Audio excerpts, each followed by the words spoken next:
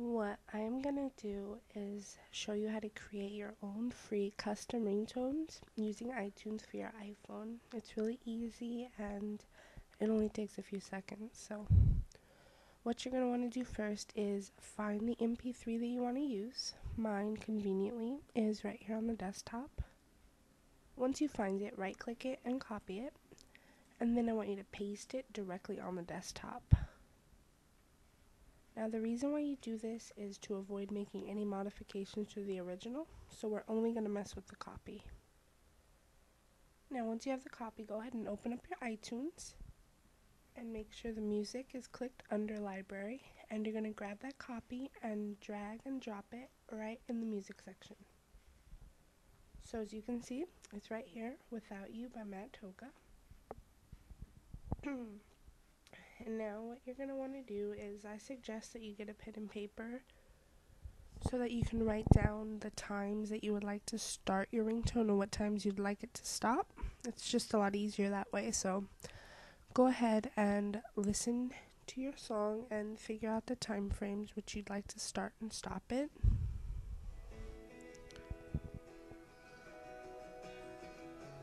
For the sake of time, I'm going to make mine start at about 19 seconds.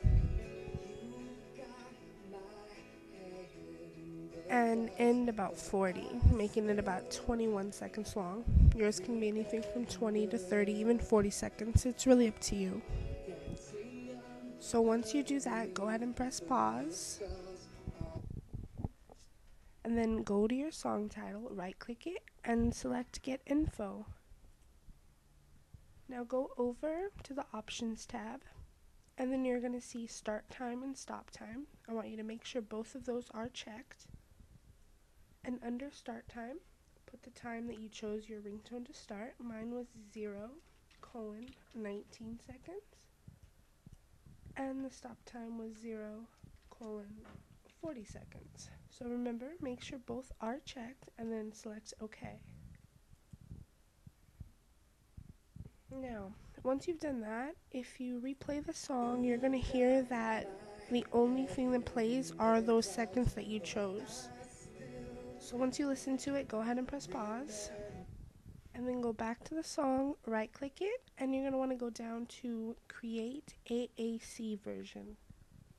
I know other iTunes, they might say convert to AAC or something along those lines. That's fine. Just create AAC version. You do not want to create a ringtone. So once you find the AAC version, go ahead and click that. And what you see, it's going to make a copy right here with the amount that you chose your ringtone to be. Mine was 21 seconds. so now we're only going to mess with that one. So go ahead and click that one. And you're going to want to right click it one more time and go to Show in Windows Explorer. Now you'll see a window pop up and you'll see your MPEG, your audio file right here and it should say the song title .m4a. If you do not see .m4a, what I want you to do is go to Start, Control Panel, Classic View, and then find your folder options. Mine is right here.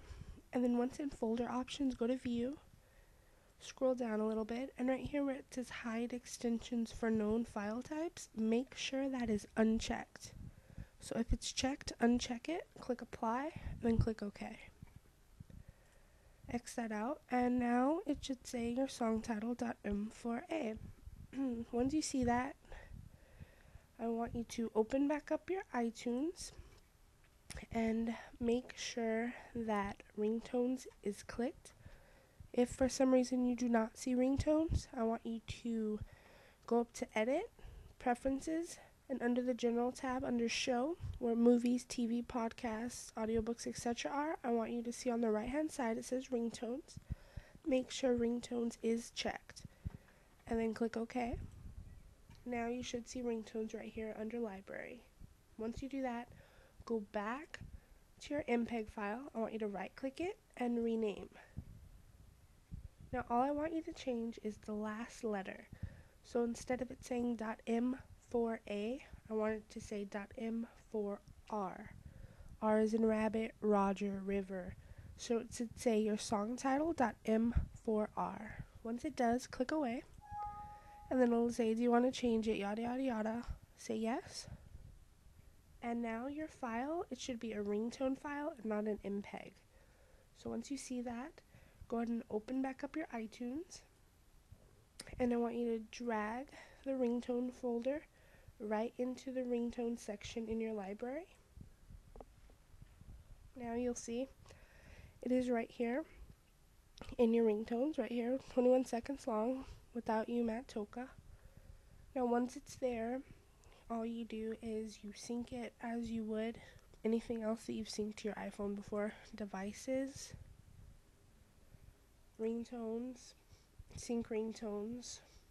You can either go with all or just the one that you just made. Apply, sync, you know, the usual how you would, like I said, anything else.